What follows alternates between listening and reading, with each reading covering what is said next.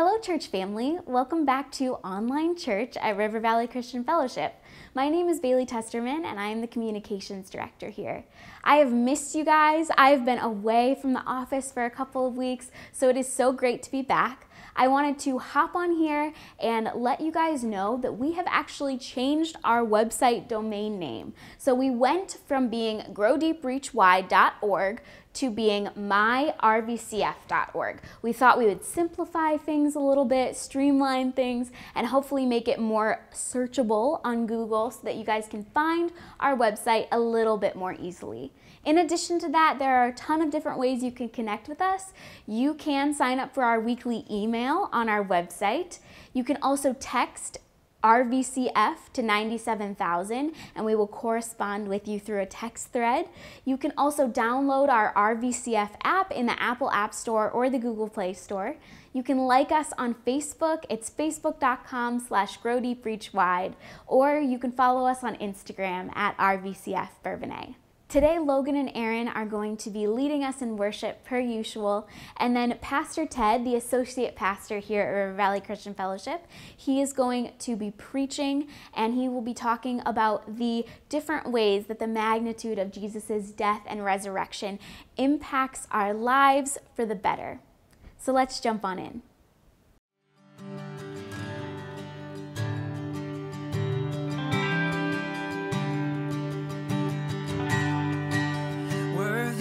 Every song we could ever sing. Worthy of all the praise we could ever bring. Worthy of every breath we could ever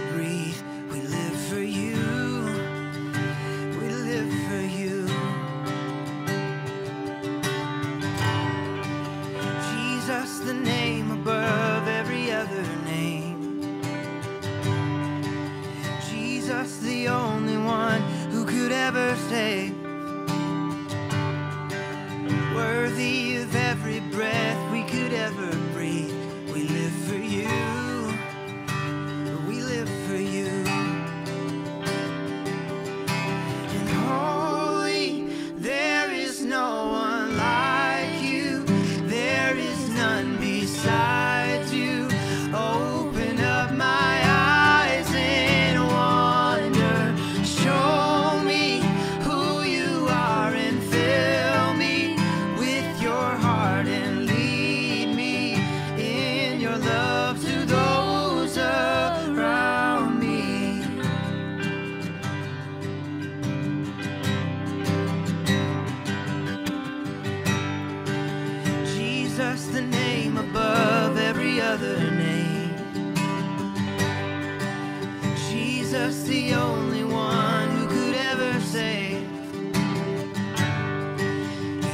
worthy of every breath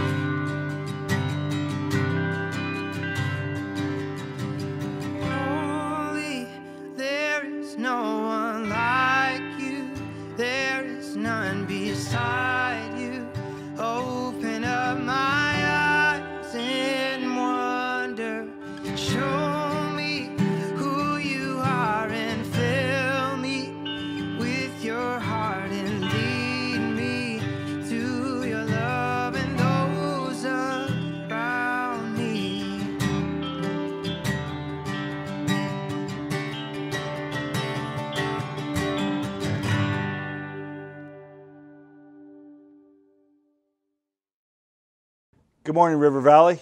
Great to see you this morning. Thanks for joining us. We're going to be continuing talking about what we are relying on, especially during these trying times. Now, that's what we're, not what we're going to focus on. But just a review from last week to catch up if maybe you missed or you might have forgotten. It has been a long week and a lot of things have happened. We talked about if then statements, causes and effects. If I eat healthy, then I'm going to feel a lot better, right? If I obey the speed limit on the interstate, which I personally have a hard time doing, then I probably won't get pulled over for speeding or get a traffic ticket. Well, we used this as we approached the Word of God. We said, if Jesus is truly the Son of God, in other words, He is who He says He is, then His teachings are more than just good ideas from a very good teacher. They are God's own insights. They are God's own wisdom and instruction in which I can confidently build my life upon. And we looked at the passage of Matthew 7 where Jesus said, If you hear these words and do them, you'll be like a wise man who builds his house on a rock. And when the winds come and the storm blows and the waves crash in, the house will stand firm. Why? Because of the foundation that the house is built on. On the other side, for the foolish man who built his house on the sand, and who would ever build a building? This church that I'm preaching from this morning has a fantastic foundation. We have two stories of building and offices and all sorts of space to use for ministry in here. But more importantly than any of that is the foundation to which it's built on. If not, it would sink right into the beautiful, rich, black dirt of the Illinois farmland. And so, a foolish man, the wind comes, the waves crash, here's the storm, and the house falls flat.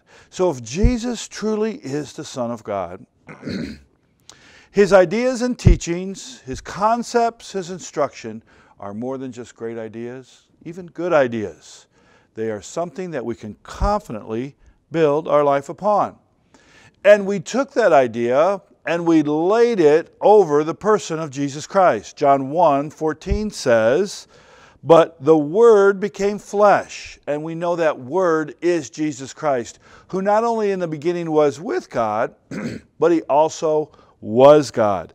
And so Jesus is, not was, Jesus is, even today, the divine expression of God. We all use words as we express ourselves and He is the expression.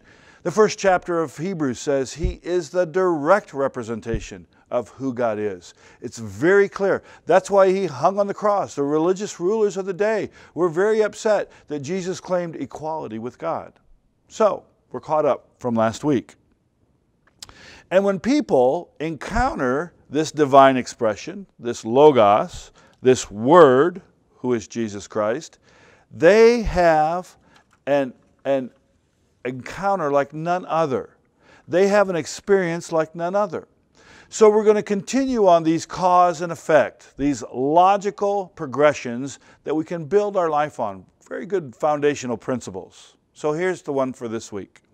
If Jesus did rise from the dead, maybe this morning as you're watching and listening to my voice, that you don't believe that.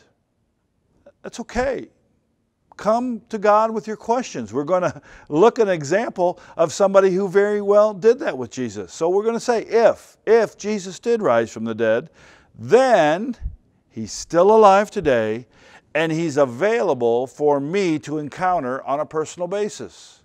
Now, thinking about encountering somebody on a personal basis. I was in Chicago with a couple of my sons. We were at an air show one time, and uh, one of the uh, local newscasters and his two uh, children walked by. Uh, Ron Magers, man, I watch him all the time, Channel 7 News, and I recognized him right away. We didn't have an encounter. I got out of the way. If I would have walked up and said, Hey, Ron, hey, Mr. Magers, great to see you today, he probably would have, uh, Who's that crazy guy? Get away from me. I'm not going to shake your hand. One time, my wife and I were in the city, and uh, the Vice President George Bush, he was Vice President at the time for Ronald Reagan, was getting into a limo, and I saw him from very far away. We didn't have an encounter. But today, we can have a personal encounter with Jesus Christ. Because if he really truly rose from the dead, if he did, then he is still alive today.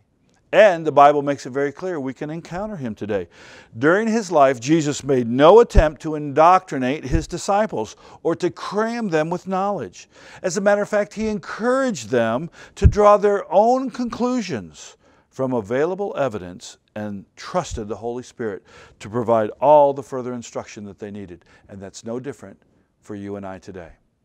So if you have your Bibles, we're in John chapter 20. One of my favorite stories. Jesus has this conversation with one of his disciples, one of his followers, closely knit together for the last three, three and a half years. Some believe maybe even four years.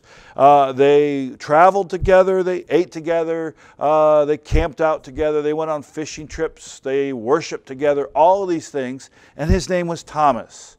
We know him today as Doubting Thomas because of this story. John chapter 20, looking at verse 24. Now, Thomas, which was also called Didymus, one of the twelve, was not with the disciples when Jesus came. This was the weekend of the resurrection, of Easter that we call it now. Jesus had risen from the dead, Judas was gone, and so there were 11 others, and for some reason, Thomas was somewhere else. Uh, he was hiding. He was scared. They were scattered. It was a, a very, very confusing time, and he wasn't with them. So the other disciples told him, We have seen the Lord. And he said to them, Unless I see the nail marks in his hands, and put my fingers where those nails were, and put my hand into his side, what had happened? A Roman soldier had pierced his side with a spear. I will not believe it a week later. Now, that's legitimate because the first century Jewish men and women, those that were living in the country that was occupied by the Roman authority, knew exactly what happened when you were crucified. It was terrible. They could keep people on the cross uh, alive for 9, 10, sometimes 14 days. It was humiliating. It was excruciating, painful. And I don't think it was really like the pictures that we envision. We think about on a hill, way up far away, where maybe somebody could see them from far away. Now, they, they would crucify them at the crossroads. It, it would be as if we put our community in that first century. It would be at the crossroads of I 57 and, and, and Illinois 50, right there where uh, Target and the mall and restaurants are where so many cars and so many people would go by. And so that people would go by at these crossroads and just off on the side uh, in the ditch, right in the next area, here was somebody hanging on the cross. Well, you better not cross the Roman authority. Look what will happen. You, you, you'll, you'll die a, a slow, painful, humiliating death. Think about it. One of your loved ones, one of your uh, friends, one of your family members is hanging on this cross for a week or more. It's terrible. And then they would just throw their body out. Well, well, well, Jesus hung there all afternoon. The Russian, uh, excuse me, Russian, I don't know where that came from. The Romans, I guess they both start with R, the Roman soldiers decided uh, to, to make sure he was dead, hands pierced, side pierced with a spear, and he's dead. And so Thomas says, Everything that I saw and everything that I know from what I saw, that guy did not survive. And until I can put what you're telling me, I cannot believe. I, I have faith. He saw the miracles. He walked and talked and lived with Jesus for three or more years. But I just can't believe that. Have you ever come to the point in your life when you said, God, you've been faithful in this, God, you've been faithful in that? God, you've even been, I was just amazed by what this happened, but, but, but this is too much. Maybe you've been experiencing the fear of the sickness that's been going around. Maybe one of your uh, uh, close friends or relatives. I, I, I even know some friends that had a family member that died. How sad. And you just say, God, this just doesn't make any sense. I, I don't know where my next paycheck's coming. I, I don't know uh, the health of my uh, family. I don't know the safety of my community. I, I don't know all of these things. And it seems like what we are facing is bigger than anything that God, God can do. I, I don't think it surpasses the death of Jesus Christ on the cross and then raising from the dead. It seemed like to Thomas, I, I, I will not believe it, he said. He wanted to believe, but the impact from the crucifixion was just too horrible. We want to believe, we really do. But the impact of our own situation, our own circumstances, might just be too much for us to face. Now, Jesus made sure that those questions were completely taken care of. Let's look back at the narrative. Let's see. Verse 26. A week later. Now, I don't know why you had to wait six or seven days, but a week later, the disciples were in the house again. Thomas was with them. And though the doors were locked, we're safe now. There's lots of things that we believe in that make us safe, isn't there? There's lots of things that we trust in. Well, I'm okay. I've got this 401k that'll, that I'm, I'm safe. I live in a certain neighborhood, or I've got a certain security system, or I've got a certain job. They can't, they can't fire me there. I've got the certain love and support of family and friends around me that I'm going to make sure that I'm loved and accepted and everything's going to be okay. Or we know that we're close enough to the hospital that if anything were to happen, we could rush over there. All of those things don't keep us secure. Their doors were locked, they thought they were safe. but Jesus busted right through that. The only thing that makes us safe really is the risen Savior, Jesus Christ. And so look what happens. The doors are locked. Jesus came and stood among them. He wasn't knocking at the door, he appeared right in the middle of them. And he said, Peace be with you. Isn't that interesting? Peace, shalom, the glory, the blessing, the presence of God be with you. As the Creator God was standing right in the midst of them, I'm sure they were freaking out. I know I would have done the same. And he says, Peace be with you. And then look, what, look at the next thing he does. He says to Thomas, Why did you doubt? How come you didn't believe? Didn't you know? No, he didn't say any of that. Right from the verse. Put your finger here. And he holds out his hand. See my hands? Take your hand and put it into my side. Jesus had heard him, even though he wasn't necessarily with him in body.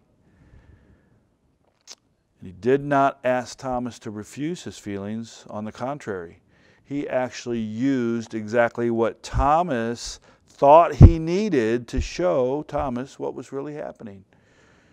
Stop doubting and believe. The interesting part about the story is the next verse, verse 28. Thomas said to him, Does it say Thomas said to him after he put his finger there and his hand here? No. Thomas said to him, My Lord and my God the thing that Thomas thought he needed to believe. He realized, having an encounter with Jesus, the risen Lord, if Jesus really did rise from the dead, we can have a personal encounter, relationship with Him. He says, My Lord and my God. If Jesus wants to have a life changing encounter with somebody who, after three years, doubted everything that he taught about himself, don't you think He wants the same thing for you and me? of course He does. Of course He does. Now, let me give you another cause and effect statement, if then statement. If Jesus then conquered death, so let's take that first one. He did rise from the dead, and we can have a personal encounter with Him. If He conquered death, which He must have since He rose from the dead, then He can open the door of eternal life for you and me also. You see, Jesus wants to start our eternal life now. It's not someday. Oh, we used to sing the old hymns about heaven, and oh, someday I'm going to be able to get there and it'll be so glorious. Jesus wants eternal life to start now. In the, um, the Lord's Prayer, on earth as it is in heaven. What's going on in heaven right now? There's a huge party. My father, who passed away nearly four years ago, is part of that in heaven. Lots of other of my relatives and friends that I know that have died have gone to sleep in the Lord because of their faith and trust in Jesus Christ. As a matter of fact, look at the very next thing Jesus says. He doesn't rebuke anybody, he encourages them. Jesus says to Thomas, Because you have seen me, you have believed. Here's where we come into the story. Blessed are those who have not seen and yet still have believed. Yet still have believed. That's you. That's if you've believed, that's me. I'm part of this story. He says, I'm blessed for those who have not seen and yet have believed. Have I seen the physical Jesus walking on earth? No, I haven't. Yet I've put my faith and trust in him. Jesus did many other miraculous signs, verse 30 says, in the presence of his disciples. They're not even recorded in this book. But these, the seven signs that John had put, the seven miracles that John had put in his book, are written. Why? So that you can believe two things. We talked about this last week in the Sunday service here on, on campus that Jesus is the Christ, He is the Son of God. He has the authority and he has the power. He has the authority as the Messiah, he's the Christ, and he has the power as the Son of God. And what's the result? Believe that Jesus is the Christ. How? Through the Son of God, through that power that he has to give us the authority. And what happens? And that by believing, you have life through his name. Life, life eternal. What does that look like? Well, there's another earlier in this same book, in John chapter 3 and verse 8, Jesus is also talking to another man, a very learned man, a man who knew most of the Old Testament memorized as Scripture. He was a Pharisee. His name was Nicodemus. And he came to Jesus. He's having this spiritual conversation. And in chapter 3 and verse 8, Jesus says this The wind blows wherever it pleases. You hear its sound, but you cannot tell where it comes from or where it's going. you know, this is pre recorded. And the day that we pre recorded it, it was raining. Was raining down in the Kankakee area, but you come up to the church area and there was no rain here. Why? Why was the wind blowing and the rain coming down there, but not here? We don't know. And Jesus says, The wind blows where it pleases. You can see the results, you can hear the sound, you can see where it's coming from and where it's going. So it is with everybody born of the Spirit. You know, we like things nice and neat and tidy, don't we? You got to do this and this and this, and you got to believe this, and then you got to have this evidence. And Jesus says, no, no, it's not like that at all. He's talking about getting saved, but he's talking about entering into a family relationship with Him. He's talking about it being a mystery. Emily Dick- Dickinson once said that a mystery is the greatest need of the human soul. But many times we limit God not, we, we don't ex- uh, expansively uh, investigate the mystery of God and the mystery of salvation through Jesus Christ our Lord, just as John described it. We see it as a as an academic thing, where there's these seven steps to a better life, 25 ways, and you can be more successful in Jesus in your Christian life. And it's all about function and information. We said this last week. We are the most informed generation ever before. But relationally, we are the most crippled. Jesus wants to have a relationship with us. Yes, it's important to know about Him. It's important for me to read my Bible and to search out for God. That's literally the search for wisdom. It really is. But also, He wants to have an encounter with us, a relationship with us. And so we reduce it to information. We reduce it to function. What are you doing, God? How come you're not doing more in our community or doing more in our state? Why aren't you doing something for, to, to make these politicians uh, uh, uh, put laws in that we want? Why aren't you doing something in some of these cities? What, what about all the hunger in the world? Why, why aren't you doing it? We, we limit everything to information and to function. If I had that kind of a relationship with my earthly father, John was my father. Um, now, John, I just need to know as much as possible about you and what are you doing for me, all right? Now, I know you go to work every morning and you get a paycheck and, and you come home and um, there's groceries in the refrigerator and there's food on the table and I have clothes. You know, what are you doing? What kind of a relationship would that be with my father, my earthly father? What kind of a relationship would I have with my kids if all they concerned was knowing certain facts about me and wanting to know that I was doing enough for them? We can have a personal, loving relationship? The answer to this is comes from a spiritual direction that only comes from knowing God in a personal way. And we can only do that when we have a personal encounter with the living God. It's important for us to have informed minds, to know what the Bible says, to show us principles to live by. We made that very clear last week. If Jesus truly is the Son of God, the words, the wisdom, the instruction that He gives are more than just good thoughts, but they are principles that I can confidently build my life upon. And if Jesus did rise from the dead, if He did, and if you believe that today, then you have had a personal encounter with the King of Kings and Lord of Lords, the Creator God who came as the Word became flesh. He came. He cared so much and loved so much that He came. He wrapped Himself in flesh. And as a divine expression of God, He died on the cross to pay for my sin penalty and your sin penalty. I can have that encounter since Jesus did rise from the dead. And I can have that power from that conquered death that opens the door for eternal life for me. I want to read you one more verse as we close. Over in Philippians chapter 3. I love the book of Philippians. One of my favorite verses is chapter 3 and verse 10. Paul says this I want to know Christ and the power of his resurrection. If Jesus did rise from the dead, you can have a personal encounter with him, which is going to result in eternal life, which starts today.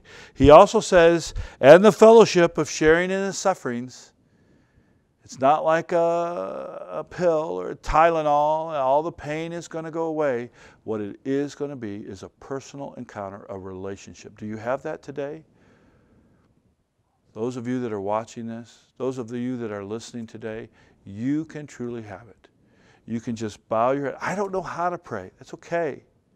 Thomas had all these questions. I don't know what to say. That's all right. If we confess with our mouth that Jesus is Lord and confess our sin, He is faithful and just to forgive us all of our sin. The wages of sin is death, but the gift of God. And God has a gift for you this morning. It's not more money in your job. It's not a bigger, nicer car or a fancier house or newer furniture. It's a personal relationship with Him. You can have that today. And let me just encourage you if you do that, if you make that choice, and you do pray and call out to God, we would love to hear from you. You hear how you can get connected both before and after the video. You see us. We're on Facebook, we're on YouTube, on our website. We would love for you to be able to call us, talk to one of the pastors. Not only do we want to uh, uh, rejoice with you, but we would love to pray with you and pray for you and encourage you, give you some information. Maybe you need a Bible. We would love to help you with that. Please connect with us. But let's pray as we wrap up this morning, shall we? Heavenly Father, thank you so much for loving us. Thank you so much for the divine expression of God that you came and wrapped yourself in flesh because of my sin, because of our sin. And we can have a personal encounter. More than just knowing about you, Lord, we can have a personal encounter which will literally change our lives. Also gives us eternal life, which starts today.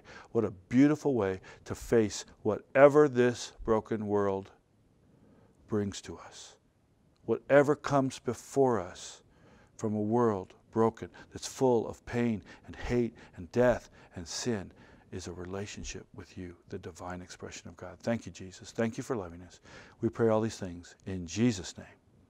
Amen. Have a great day. Thanks for watching.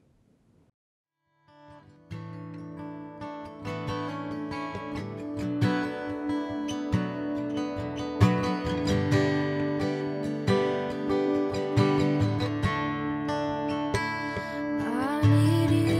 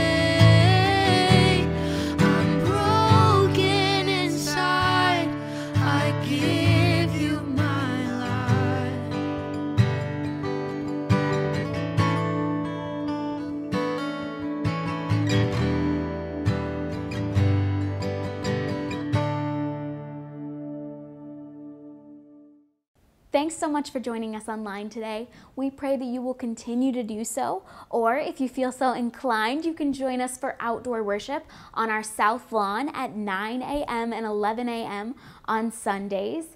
Um, and we want to mention that day camp is still going on for two more weeks. So, elementary students, middle school students, you can come on over to the church between 9 a.m. and 11 a.m. on Wednesdays, the next two Wednesdays, for the last little bit of day camp. All right, well, we hope to see you next week, online or in person. And uh, just know that we're praying for you guys. We love you guys, and uh, we will see you soon.